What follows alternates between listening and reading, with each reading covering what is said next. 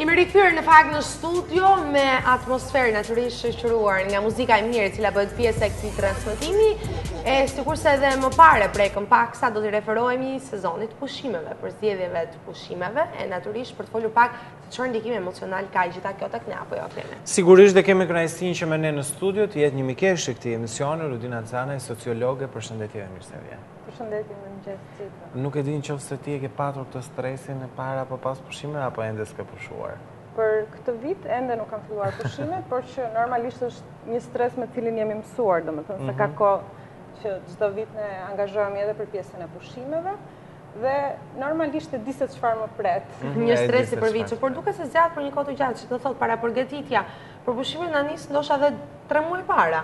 Mund të po. ndodhë, është një lloj stresi që ne i injektojmë vetes, kam përshtypje. Patjetër, varet normalisht gjithmonë edhe nga pushimet që ne mhm. zgjedhim të bëjmë, në qoftë se ato janë pushime të gjata, në qoftë se ato janë impenjative, në qoftë se janë jashtë vendit ku ne jetojmë çdo ditë, për shembull në qoftë se vendosim të bëjmë një udhëtim, jo në Shqipëri, por të dalim jashtë saj, neve patjetër që do na duhen 2-3 muaj kohë përpara, për të bërë gjitha prenotimet e mundshme, që me qëllim domethënë që ta lehtësojmë sa më shumë, vajtjen në një vend që ende nuk e kemi eksploruar. Dhe normalisht për këto të duhen 2-3 muaj kohë, të bësh prenotimet e hotelit, të bësh udhëtimet, të normalisht të zgjedhësh grupin me të cilët do të bësh pushimet, sepse nuk është gjithmonë vendi, janë po. ndonjëherë edhe personat me të cilët po, e zgjedh. Po, do doja të ndaleshim këtu sepse duket që ndonjëherë dhe shpeshherë ndodh të themi që më e rëndësishme se gjithçka është njerëzit që zgjedhim Të bëjmë pushime sesa vendi në fund të fundit?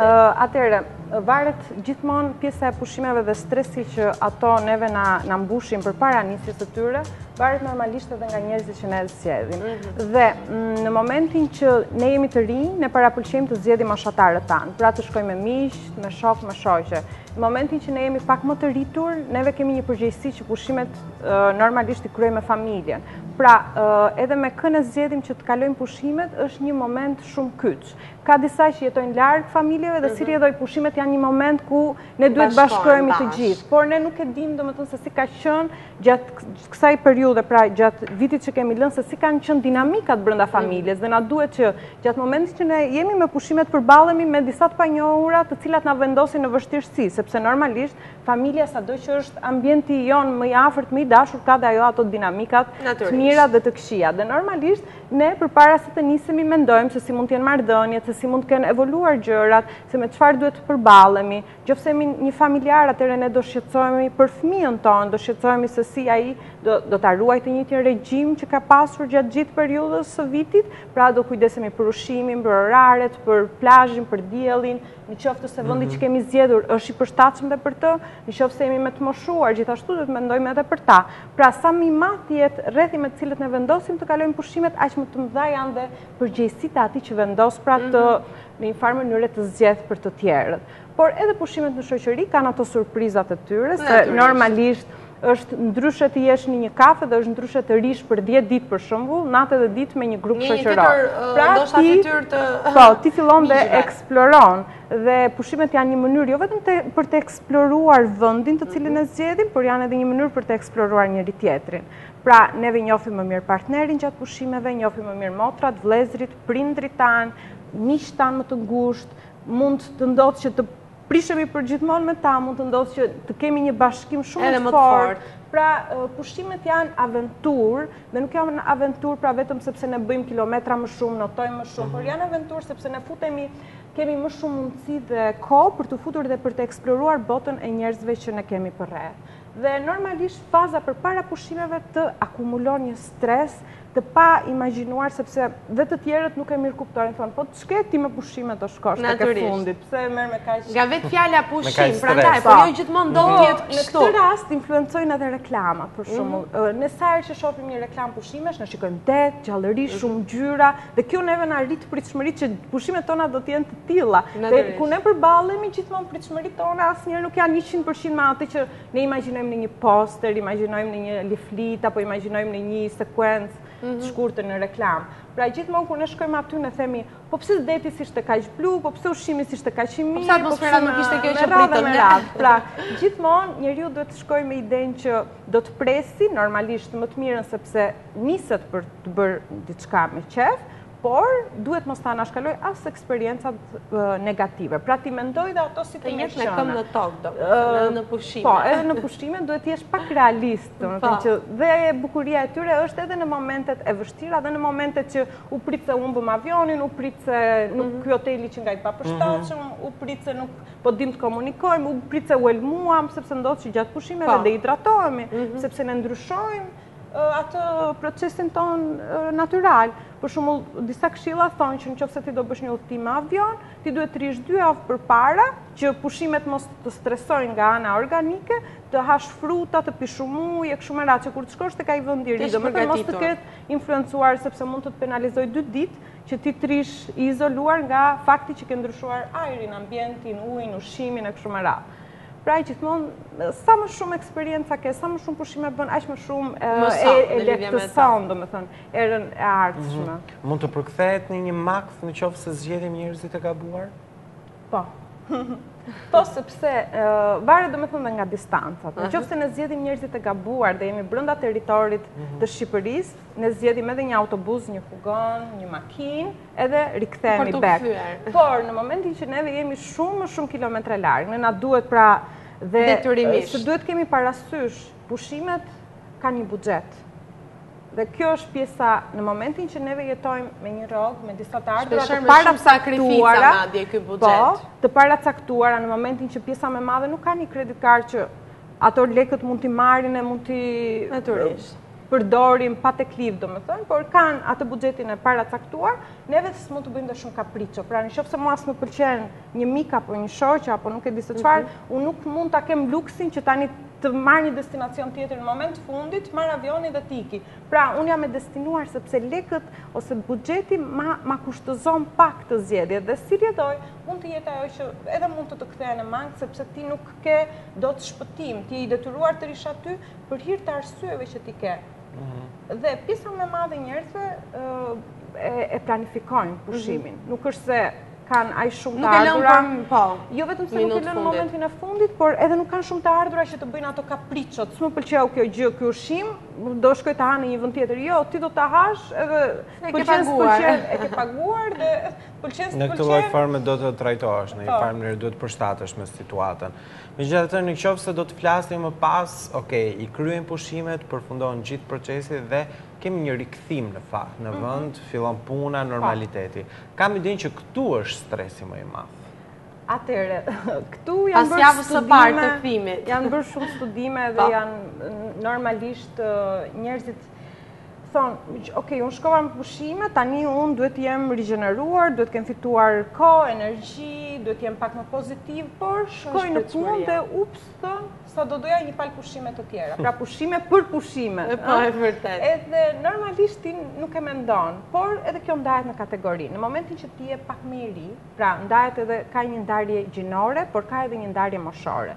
Ndarja gjinore kush është? Në qoftë se gratë në përgjithësi janë edhe gjatë pushimeve njësoj aktive. Mhm. Në qoftë se ato bëjnë pushime me familjen, ato janë të detyruara të gatuajnë, të kujdesen për të vegjlit, për më të mëdhenjtë, pra të koordinojnë oraret, të dalin, sepse nuk janë vetëm pushimet e verës, mund të jenë dhe pushime dimri, të dalin të blejnë dhurata, për shembull në qoftë se janë Krishtlindjet, për gjithë të afërmit. Pra ato janë gjatë gjithë kohës, nuk janë komplet të relaksuara. Nuk pushojnë realisht, pra janë gjithmonë më të impenjuara. Në qoftë se ato janë gra, apo janë gra të reja, dhe shkojnë pa fëmijë, domethënë nuk kanë këto angazhimet familjare, ato mund edhe të kënaqen pak pothuajse njësoj me partnerin apo me meshkujt e tjerë. Pra është edhe kjo mosha, është edhe normalisht pjesa e gjinisë. Dhe për sa i përket prap moshës, do ta lidh me pjesën profesionale. Në qoftë se ti je ende e re, dhe ti do të duhet të shkosh në punë menjëherë pas pushimeve, ti nuk e njeh shumë mirë, domethënë se çfarë ndodh në punë, nuk ke atë eksperiencën që ta dish se çfarë do ndodh edhe pasi unë kam humbur 15 po. ditë kohë, sepse puna vazhdon, aty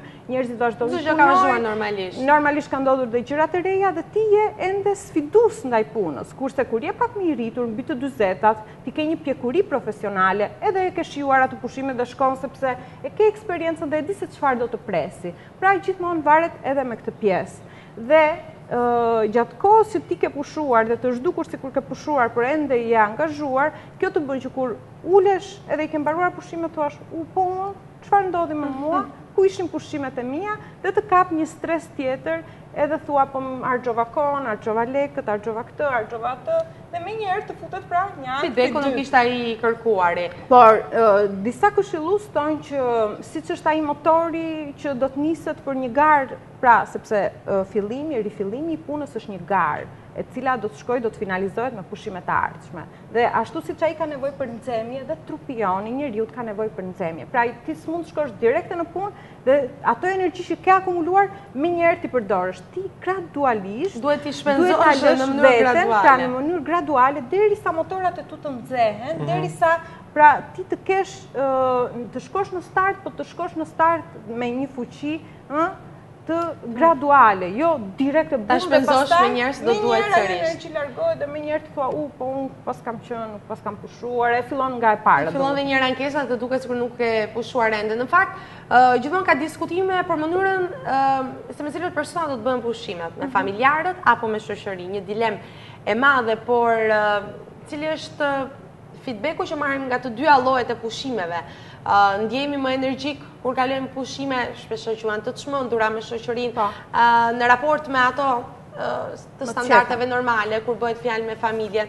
Çfarë ndikimi ka tek ne këto dy lloj pushimesh? Prapë edhe këtu unë do ta lidhja me atë pjesën moshore, sepse mosha ndikon, nëse ti je më i ri, ti pas të 16-tave je gjithmonë me turin varur kur je me familjen. Pra, të pëlqejnë, të pëlqejnë, i do shumë pa fund prindrit, motrat, vëllezërit. Por jo për pushime. Por jo për pushime, ti aty je gjithmonë me një telefon, tani që edhe interneti interneti bën të vetë. Është, domethënë, shumë i pranishëm me ne, ti gjithmonë në telefon, je gjithmonë duke WhatsApp me miqtë e tu, je gjithmonë në Facebook, je gjithmonë pra, duke kërkuar atë pjesë që të mungon. Dhe normalisht fillon një kontradiktë. Prindrit thonë, jo hiqe telefonin, jo ti ke ardhë me ne, jo do bësh këtë, jo do bësh atë. Pra ata të vendosin në një presion që ti që në fillim, pra që në shtëpi ke thënë, di si është puna, unë po, nuk dua të vi me juve me pushime, jo do vish, jo do vish, ti shkon, edhe pastaj ata prap duan që ti të bësh mhm. të ecësh me rregullat e tyre.